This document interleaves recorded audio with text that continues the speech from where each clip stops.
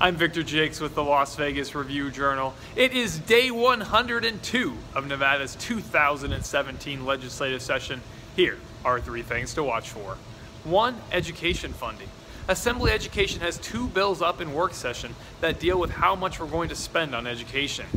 Senate Bill 178 will give some students additional money, and Senate Bill 390 expands Zoom schools. Two, ethics. Nevada's Commission on Ethics wants to overhaul many of its procedures, including the remedies available to it for those who commit ethics violations.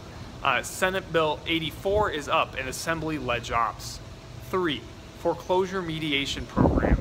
Nevada hasn't had a foreclosure crisis in years, but that's not stopping Senate Judiciary from wanting to permanently enshrine Nevada's foreclosure mediation program into state law. Senate Bill 490 is up in Senate Finance.